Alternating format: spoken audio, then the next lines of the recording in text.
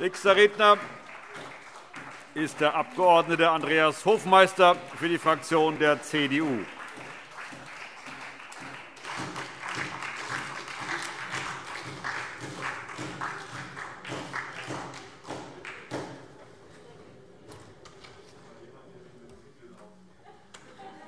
Herr Präsident, meine sehr geehrten Kolleginnen und Kollegen! Hessen verfügt über eine attraktive und vor allem auch leistungsfähige Hochschullandschaft, welche damit ein breites Fundament für Innovationen in allen Lebensbereichen bildet. Mit unseren 14 Universitäten, Hochschulen für angewandte Wissenschaften und Kunsthochschulen sowie den nichtstaatlichen und privaten Hochschulen bietet sich jungen Menschen eine umfangreiche Palette an akademischen Bildungsgängen welche nach wie vor sehr rege in Anspruch genommen werden. Ein Beispiel dafür sind auch die zunehmenden angebotenen dualen Studiengänge. Ich denke da etwa an das Angebot von Studium Plus der Technischen Hochschule Mittelhessen, aber genauso an Möglichkeiten des Hochschulzugangs.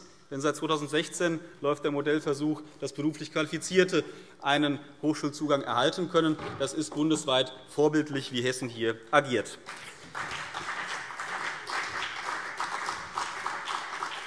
Und der Trend, ein Studium aufzunehmen, ist bundesweit, aber eben auch in Hessen ungebrochen und wird sich nach allen Annahmen auch auf einem hohen Niveau fortsetzen. Waren es zu Beginn des Jahrtausends etwa 30% eines Altersjahrgangs, der ein Hochschulstudium aufnahm, sind es nun über 50 Und die Möglichkeiten für junge Menschen, ihren Bildungs- und Karriereweg nach eigenen Vorstellungen zu gestalten, sind wohl so vielfältig wie wohl noch nie zuvor. Mir ist an der Stelle aber auch wichtig, bevor es dann gleich wieder zum Thema Hochschulen geht, auch zu betonen, für meine Fraktion auch zu betonen, dass für uns berufliche und akademische Bildung gleichwertig sind. Das sollten wir bei all den Debatten über die Frage von Hochschulen auch immer wieder äh, betonen an dieser Stelle. Und, meine Damen und Herren, weil die Möglichkeiten so vielfältig geworden sind über die ganzen Jahre, ist es auch richtig, dass wir die Berufsschulstandorte stärken, dass wir verstärkte Maßnahmen zur Berufsorientierung mit den Kammern angehen, dass wir die umfangreichen Instrumente im Bereich der Studienorientierung noch besser anpassen, um jungen Menschen bei der Vielzahl von Möglichkeiten Beratung zu bieten und damit eben auch die Frage Chancen, Chancen-Nutzen befördern, im letzten dann auch Chancengerechtigkeit schaffen. Ich sage einmal eine Initiative arbeiterkind.de, die mittlerweile auch vonseiten des Landes Hessen gefördert werden, die eben jungen Menschen, die aus ihrer Familie heraus keinen akademischen Bildungshintergrund haben, die Möglichkeit schaffen, im Studienalltag sich zurechtzufinden, den Mut aufzubringen, am Ende des Tages auch ein Studium aufzunehmen. wir haben uns vor Kurzem erst mit Vertreterinnen und Vertretern dort ausgetauscht. Die machen eine hervorragende Arbeit und werden auch ihre Wirkung hier Stück für Stück weiter entfalten.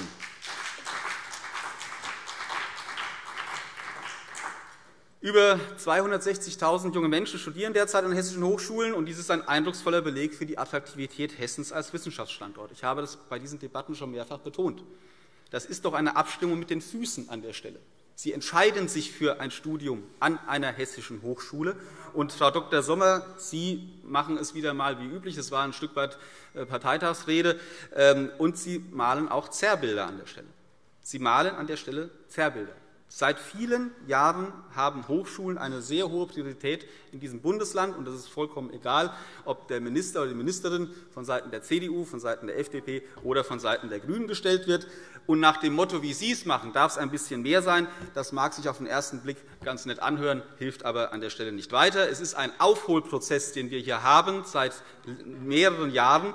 Und, meine Damen und Herren, liebe Frau Dr. Sommer, Sie haben vorhin das Thema Drittmittel so ähm, thematisiert. Ist was Böses? So hatte man fast den Eindruck. Nein, es ist durchaus ein Nachweis von Forschungsstärke und dass hier Hochschulen eine hervorragende Arbeit leisten mit ihren Forscherinnen und Forschern. Es muss vernünftig austariert sein. Ja, und deshalb haben wir das auch weiterhin im Blick. Aber so wie Sie das dargestellt haben, ist das sicherlich nicht richtig. Und meine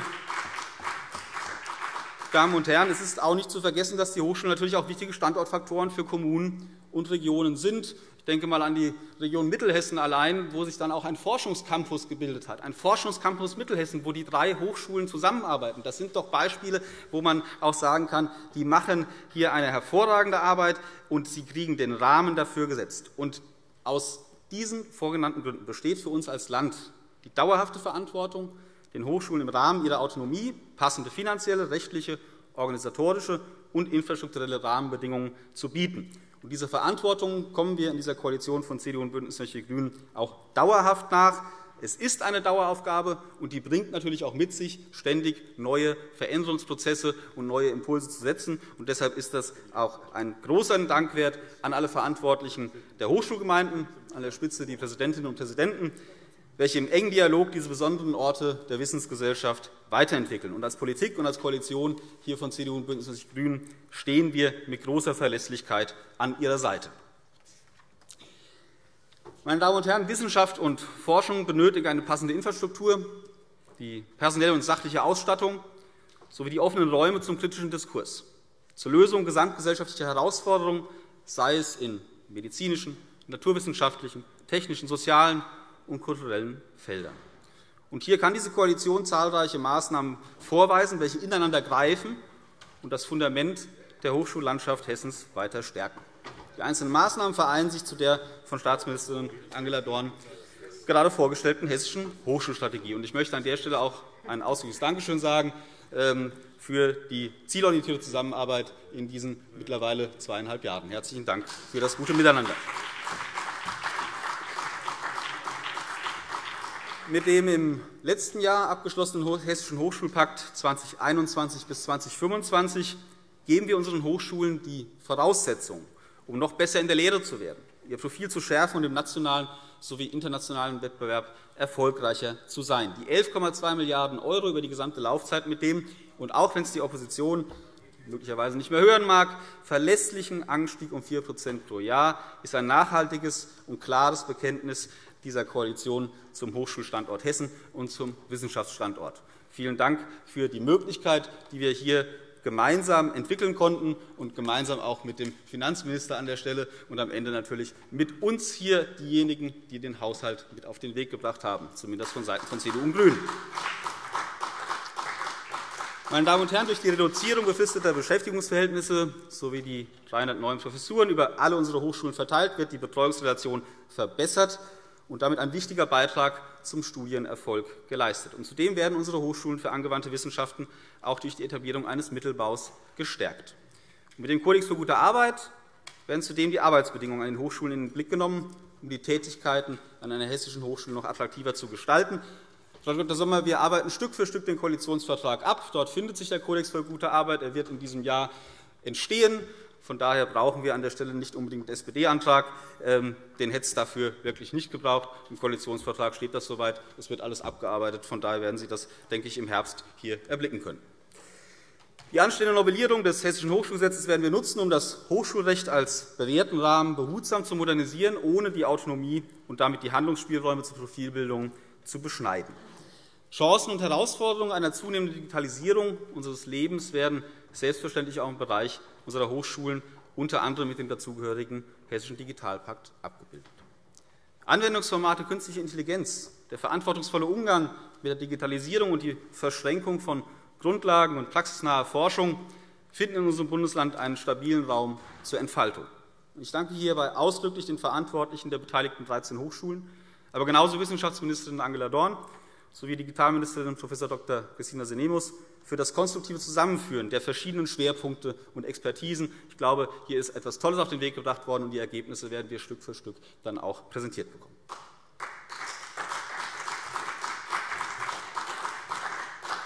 Exzellente Leistungen von Wissenschaft und Forschung tragen seit jeher zur Lösung gesamtgesellschaftlicher Problemstellungen entscheidend bei. Dies wird uns in diesem Haus in den letzten Monaten schon oftmals thematisiert. Gerade durch die Corona-Pandemie oder besser durch den Weg aus der Pandemie mittels Impfungen vor Augen geführt. Es braucht die klugen Köpfe mit einem breiten Fundament der Wissensgesellschaft, zu der unsere Hochschulen einen bedeutenden Teil beitragen. Und es braucht die Exzellenz für Innovation und Fortschritt. Wissenschaft und Forschung benötigen jedoch nicht nur kluge Köpfe, sondern auch die passenden Gebäude und Ausstattung. Und als Land Hessen kommen wir der Verantwortung für die bauliche Entwicklung unserer Hochschulen bereits seit vielen Jahren mit einem eigenen Programm nach. Mit dem Bauprogramm Heureka wird die Infrastruktur der hessischen Universitäten, Hochschulen für angewandte Wissenschaften und Kunsthochschulen seit 2008 nachhaltig verbessert, und dies mittlerweile mit einer Planungssicherheit bis zum Jahr 2031 mit einem dann über die gesamte Laufzeit betrachteten Gesamtvolumen von 5,7 Milliarden €. Und, meine Damen und Herren, bundesweit kann man nach einem solch nachhaltigen Bauprogramm suchen, welches durch weitere Förderlinien oder auch durch die im letzten Plenum exemplarisch thematisierte Forschungsbauförderung des Bundes gemeinsam mit den Ländern ergänzt wird. Und die beispielhafte Wirkung von Heudeka bestätigt sich immer wieder in Gesprächen mit Vertretern anderer Bundesländer, aber auch und gerade im Austausch mit den Verantwortlichen unserer Universitäten und Hochschulen für angewandte Wissenschaften. Ich erinnere mich an einen Spatenstich vor nicht allzu langer Zeit. Gut, es war vor Corona, aber naja, ähm, da hat der dortige Präsident gesagt, so ein Programm hätten wir schon lange vorher gebraucht, aber es gab es leider nicht. Und jetzt haben wir die Möglichkeit, planbar, verlässlich unseren Campus weiterzuentwickeln. Und leider ist das ja immer so mit der Frage, man erinnert sich nicht so gern zurück, wie das mal war. Aber trotzdem, meine Damen und Herren, man blicke mal in die 90er Jahre zurück. Dort gibt es durchaus eindrückliche Berichte, wie es dort an hessischen Hochschulen baulich aussah. Dann gehen Sie heute mal über die Campi, dann werden Sie sehen, was sich verändert hat.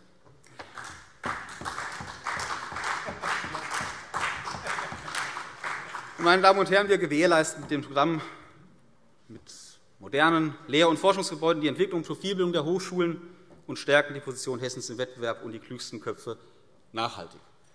Wissenschaft und Forschung bilden durch den Transfer auch das wesentliche Fundament für die Wettbewerbsfähigkeit der Wirtschaft, die damit verbundenen Arbeitsplätze sowie den Wohlstand unserer Gesellschaft insgesamt. Unser Land Hessen ist ein starker Wissenschafts- und Forschungsstandort. Dies vertreten und befördern wir als CDU-Fraktion in Hessen seit vielen Jahren in diesem Haus aus Überzeugung. Wir brauchen die Spitzenforschung in unterschiedlichsten Bereichen, aber dies lässt sich nicht einfach verordnen oder gar anordnen. Vielmehr braucht es die Möglichkeit zur freien Forschung, zum offenen Denken, zum Experimentieren mit Innovations- und Technologieoffenheit. Beispielhaft ist hier der verantwortungsvolle Umgang mit der Gentechnik genannt, welcher uns gerade mittels Impfstoffen ja den Weg aus der Pandemie ermöglicht. Man muss Spitzenforschung sozusagen durch kluge Rahmenbedingungen den Nährboden bieten. Mit den in Hessen angesiedelten Instituten von Max-Planck-Gesellschaft, Fraunhofer-Gesellschaft und Leibniz-Gemeinschaft sind wir im Bereich der außeruniversitären Forschungseinrichtungen bereits gut aufgestellt. Aber natürlich muss es weitergehen. Wir geben uns nicht zufrieden. Und die Anstöße von Seiten der Hochschulen, von Seiten des Landes, Anreizprogramme zu schaffen, das ist genau der richtige Weg. Denn aus den Hochschulen heraus müssen dann die Wege entwickelt werden. Aber hier gibt es auch weiter positive Ansätze. Und für eine lebendige und hungrige Forschungslandschaft braucht es Instrumente. Und hierfür steht in Hessen seit 13 Jahren das bundesweit beispielhafte Programm LOEWE, auch wenn Frau Dr. Sommer dieses gerade wieder einmal versucht hat, kleinzureden. Für die Landesoffensive zur Entwicklung wissenschaftlich-ökonomischer Exzellenz wurden in den Jahren 2008 bis 2020 rund 917 Millionen € zur Verfügung gestellt. aus LOEWE-Projekten gehen immer wieder Einrichtungen hervor, die in den jeweiligen Forschungsbereichen nationale und internationale Bedeutung erringen. dieser erfolgreiche Weg wird konsequent fortgesetzt.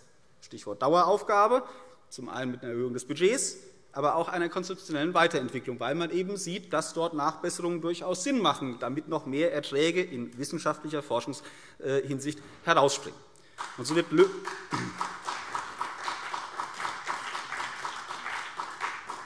So wird mit Löwe-Professuren zur Gewinnung und Haltung von Spitzenforscherinnen und Spitzenforschern beigetragen.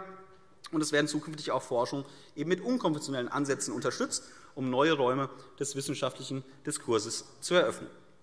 Und natürlich wollen wir, dass unsere Forscherinnen und Forscher bei der nächsten Runde der Exzellenzstrategie des Bundes wieder erfolgreicher sind.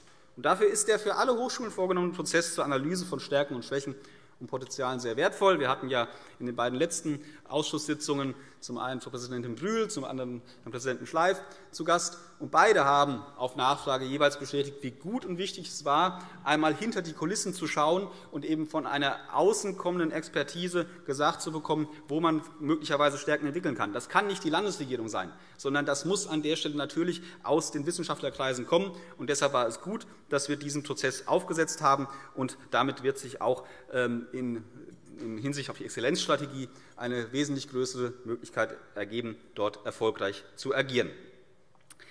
Meine Damen und Herren, es gilt, Chancen besser zu nutzen. Und hierfür steht exemplarisch auch die Frage, wie Programme der europäischen Ebene besser genutzt werden können. Mit dem Programm Hessen Horizon verfügt das Land Hessen seit September letzten Jahres über einen innovationsorientierten Anspruchsfonds, der vielversprechende hessische EU-Forschungsprojekte in den verschiedensten Fachdisziplinen zum Erfolg verhelfen soll.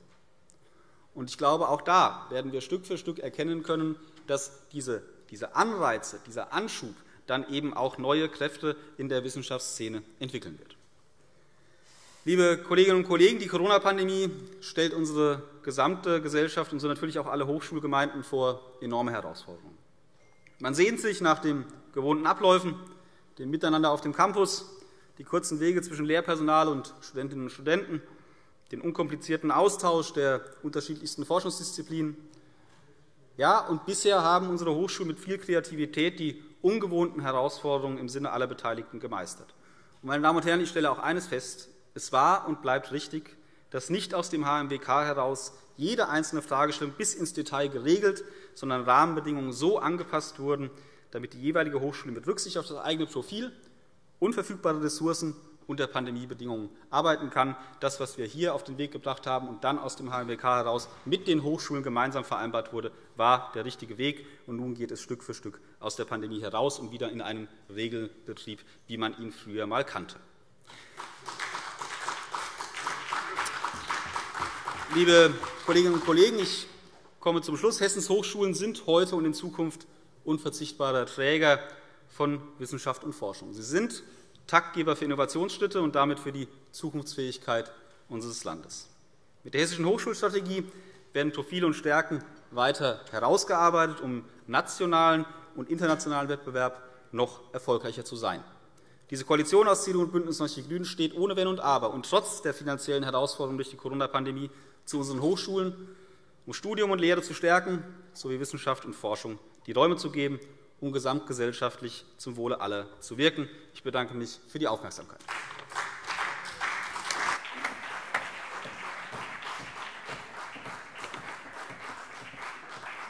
Danke, Herr Hofmeister.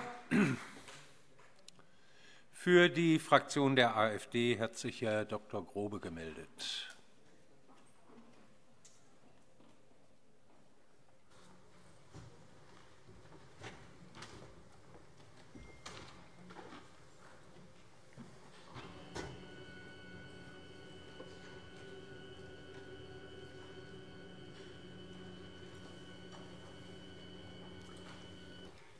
Sehr geehrter Herr Präsident, sehr geehrte Damen und Herren Abgeordnete! Es ist fast Halbzeit der Legislaturperiode, und Ministerin Dorn legte gerade in der Regierungserklärung eine Hochschulstrategie vor, als ob sie vorher keine gehabt hätte. Zumal ihre Halbzeitbilanz bislang mehr als durchwachsen ist. Und da kann man auch nicht die Corona-Pandemie als herausfordernde Zeit vorschieben. Denn viel wurde versprochen, aber wenig eingelöst. Das ist Ihre wahre Bilanz, Frau Ministerin Dorn. In den Vereinigten Staaten würde man Sie als Lehmduck bezeichnen, und zwar zu Recht. Lassen Sie uns eine Bestandsaufnahme Ihrer erfolgreichen Arbeit machen. Beginnen wir mit dem schlechten Betreuungsverhältnis zwischen Professor und Studenten. Alleine an der Goethe-Universität liegt dieses bei etwa 1 zu 95.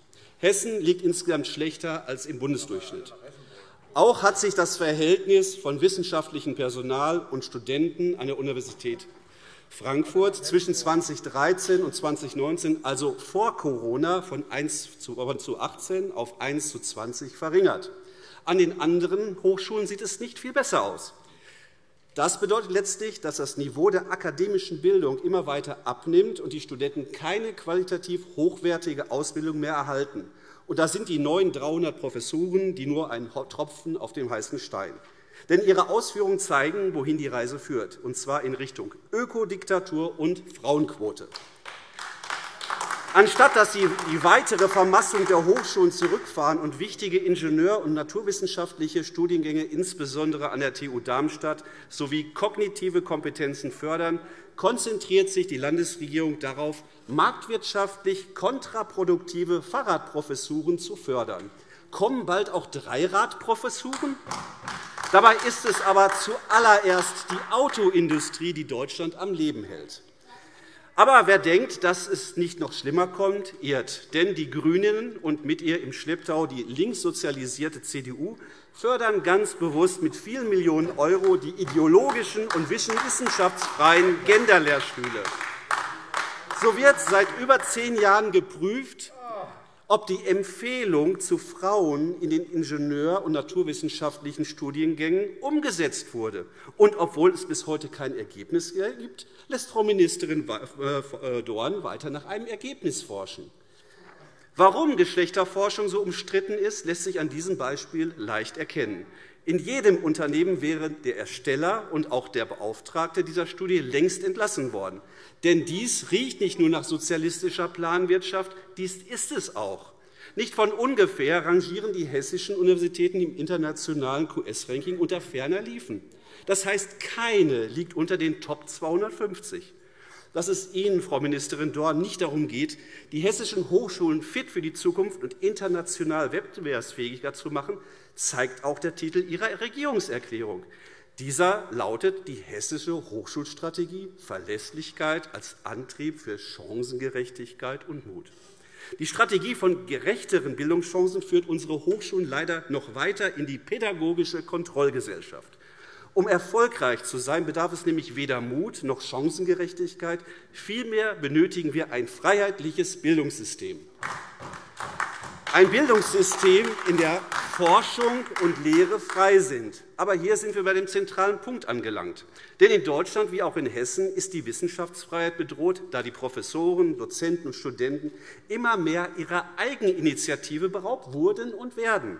Zudem wird die Meinungsfreiheit an unseren Hochschulen durch die Cancel Culture immer mehr eingeschränkt, wie wir bereits im Märzplenum mit unserem Setzpunkt deutlich herausgearbeitet hatten. Nicht von ungefähr haben sich in dem bedeutenden Aufruf des Netzwerkes Wissenschaftsfreiheit bereits 37 hessische Hochschullehrer angeschlossen. Das zeigt, dass etwas faul im Hochschulstaate Dorn ist, meine Damen und Herren. Aber nicht erst seit Kurzem. Denn bereits im Jahr 2012 hatten Wissenschaftler einen offenen Brief unter Federführung des nun in England lehrenden Jan Dochorn für ein freiheitliches Bildungssystem und für Freiheit und Forschung und Lehre an die Politik gerichtet. Aber dieser Hilferuf lief wie erwartet ins Leere, auch in Hessen. Während Sie, Frau Ministerin Dorn, in den letzten zweieinhalb Jahren und Ihr Vorgänger, Präsident Dr. Rhein, damals auf einige dieser vernünftigen Forderungen nur ansatzweise eingegangen, stünde der Forschungsstandort Hessen heute deutlich besser da. Doch Sie scheinen, doch Sie scheinen mit Ihrer neuen Strategie nur eine Veränderung zur weiteren Niveauabsenkung der hessischen Hochschulen zu verfolgen. Daher möchten wir Ihnen allen einige Eckpunkte dieser fast zehn Jahre alten Stellungnahme, dem sich die Alternative für Deutschland vollumfänglich anschließen kann, noch einmal vergegenwärtigen und an aktuellen Beispielen festmachen. So hat die Bologna-Reform dazu geführt, dass in die Stelle von akademischer Bildung zunehmend die Betreuung und Bevormundung getreten ist. Damit bleibt die Eigeninitiative der Studenten auf der Strecke, und die Studenten werden zu betreuten Insassen des Bildungssystems und das nur, um den nicht geeigneten Studenten einen Abschluss zu ermöglichen. Das früher freie Studium, welches viele von uns noch kennenlernen durften, welches von Interdisziplinarität geprägt war und um das sich die Welt uns beneidete, existiert heute nicht mehr. Nicht von ungefähr nimmt die Studierfähigkeit seither kontinuierlich ab. Das zeigt sich an den Abbruchquoten von um die 25% pro Jahr. Doch Sie nennen diese Studienabbrecher wortakrobatisch Umorientierer oder Karriereplanwechsler. Dass es mit den, dass mit den neuen Begrifflichkeiten keinem Studenten geholfen ist, scheint für die Regierung irrelevant zu sein. Denn hier werden scheinbar akademisch vorgeschulte Trampolinspringer Sternchen innen gebraucht. So erklärt sich auch, dass die verbrauchten Altparteienregierungen im Bund wie in den Ländern nun verstärkt auf Chancengerechtigkeit anstatt auf Qualifikation setzen. Die offenkundigen Schwächen, die tagtäglich zur Schau gestellt werden, sind schon beängstigend. Es gibt aber keine Chancengleichheit, wenn man die Besten aufgrund von sogenannter Chancengleichheit zwingt, so langsam zu laufen wie die Lahmen.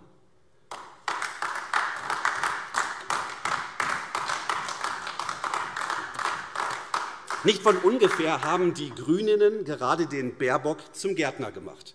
Denn ihre neue Kanzlerkandidatin zeichnet sich nicht nur durch umfassendes Unwissen aus, sie erreicht auch beim Rechnen nicht einmal das Niveau eines Erstklässlers. Unvergessen sind die Kobolde, das energiespeichernde Stromnetz und die von den Sozis entwickelte soziale Marktwirtschaft. Dennoch überrascht das Selbstbewusstsein dieser Mogelpackung einer Völkerrechtlerin, welcher wohl auf den Dunning-Kruger-Effekt basiert, aber mit etwas Kosmetik kann man heute, besonders in Deutschland, mit einer geschönten Biografie Karriere machen. Sehr geehrte Damen und Herren, wir können nur hoffen, dass der Kobold-Express noch schneller gegen die Wand fährt als damals der Schulzzug. Denn unsere Wirtschaft benötigt leistungsstarke und interdisziplinär ausgebildete Akademiker und keine, und keine Gender-Dünnbrettbohrer, das heißt hauptsächlich in Geschwätzwissenschaften geschulte Akademiker. Es wäre es wäre daher gut, wenn wir nicht von allen Schülern, insbesondere von den nicht studierfähigen, ein Abitur voraussetzten. Denn es stimmt nicht, dass uns stärker akademisierte Nationen uns etwas voraus hätten. Unser Bildungssystem ist gerade deshalb noch erfolgreich, da dieses neben dem akademischen Sektor auf eine exzellente duale Ausbildung fußt. Eine Harvard-Langzeitstudie besagt, dass der Prozentsatz der Selbstständigen direkt mit der Höhe des Lebensstandards korreliert. Lassen Sie uns daher unser Bildungssystem neu denken und fordern wir unsere Kinder, statt sie zu betreuen. Nicht von ungefähr hat letzte Woche der Präsident der Goethe-Universität, Prof. Schleif, darauf hingewiesen, dass es Vertrauen und Kreativität bedarf, damit unsere hessischen Hochschulen zu den Exzellenzuniversitäten aufschließen können. Damit dies gelingt, muss der einzelne Wissenschaftler wieder frei forschen können. Das bedingt aber, dass die Macht der Universitätsverwaltung und Präsidenten wieder eingeschränkt werden muss. Es kann nämlich nicht sein, dass die Forscher über Leistungsverhandlungen und Evaluation immer stärker dazu gedrängt werden, Drittmittel einzuwerben. Drittmittel, die zudem noch überwiegend staatlich finanziert werden und die Bürokratie in den einzelnen Instituten aufblähen. Um Drittmittel zu erhalten, sehen sich Wissenschaftler sogar schon dazu genötigt, Forschungsaufträge in der ideologischen Gendersprache zu schreiben. Andernfalls ist davon auszugehen, dass diese abgelehnt würden.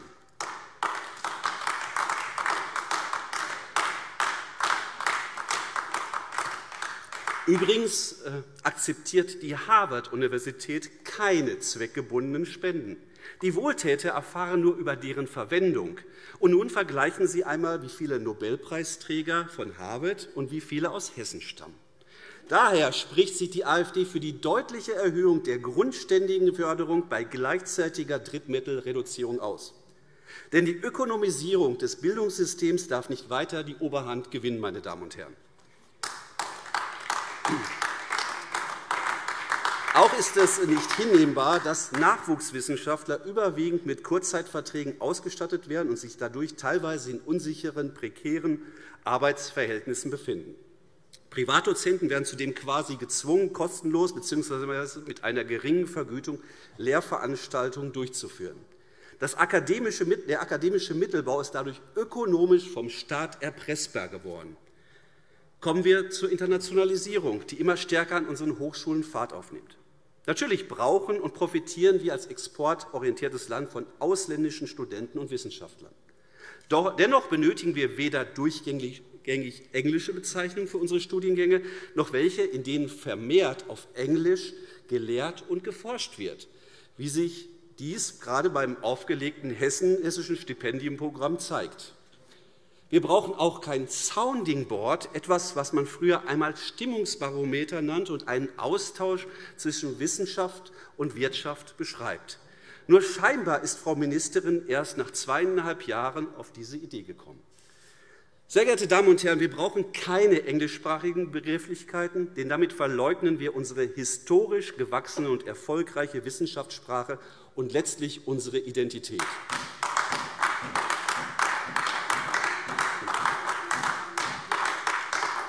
Gerade die Erhaltung der Wissenschaftssprache Deutsch gehört zu unserer Freiheit und Pflicht, meine Damen und Herren.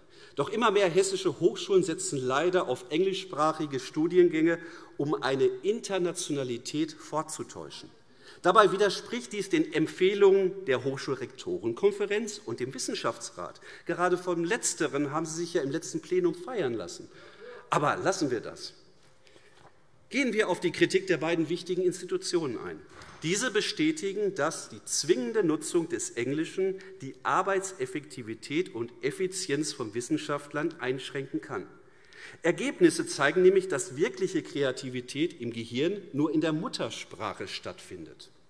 Zudem führt laut Hochschulrektorenkonferenz die unzureichende Berücksichtigung von nicht englischsprachigen Veröffentlichungen zu unerwünschten Wettbewerbsverzerrungen. Darüber hinaus bringen nicht alle internationale und auch heimische Studenten die sprachlichen Voraussetzungen für ein englischsprachiges Studium mit. Das Gleiche gilt für die Dozenten. Schließlich wollen wir doch in erster Linie die Fachkenntnisse und nicht die sprachlichen Kompetenzen prüfen. Auch die Hochschulen sind weder personell noch institutionell entsprechend ausgestattet, um den Anforderungen gerecht zu werden. Eine reine englischsprachige Kommunikation in Forschung und Lehre geht zulasten anderer Sprachen und gefährdet damit die Sprachenvielfalt. Eine Diversität, die Sie doch sonst in Ihren Reden so gerne hochhalten. Vielmehr konterkariert dies die auswärtige Kulturpolitik unserer Bundesregierung. Denn diese versucht der deutschen Sprache weltweit mehr Ansehen zu verschaffen. Auch die Europäische Union ist bestrebt, die Mehrsprachigkeit in Europa zu fördern. Ich frage Sie, wäre es nicht gerade wichtig, dass ausländische Studenten und Wissenschaftler die Kultur und Sprache des Gastlandes kennenlernen?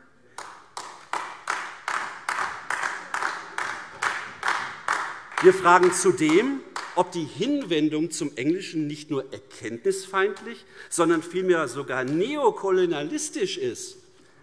Sehr geehrte Damen und Herren, wenn die grün-schwarze Regierung in Hessen nicht mehr gewillt ist, den freiheitlichen Weg der nationalen Selbstbestimmung zu gehen und Magister- und Diplomstudiengänge wieder einzuführen, dann sollte wenigstens der heutige Bachelorstudent das Recht auf ein wissenschaftliches Studium haben.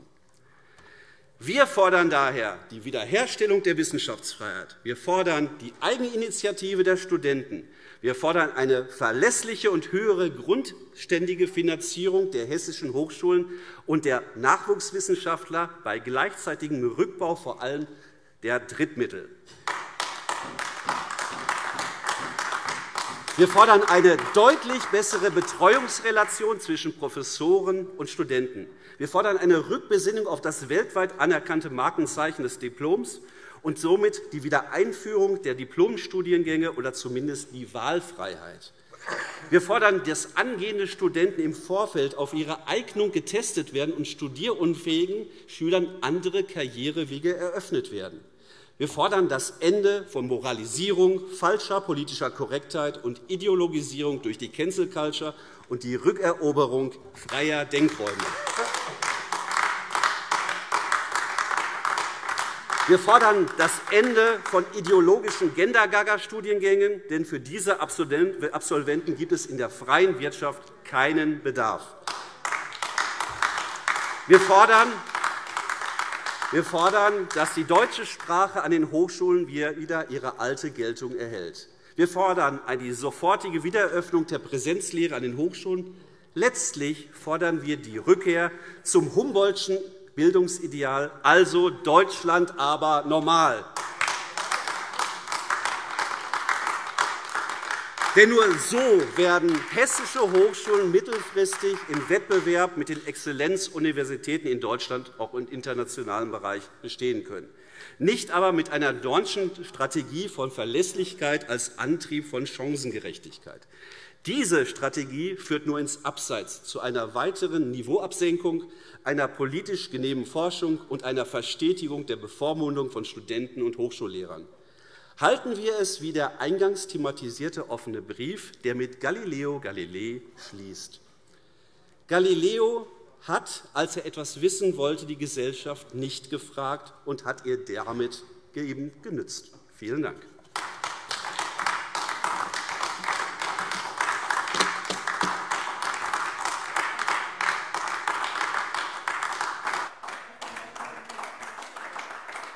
Danke, Herr Grobe.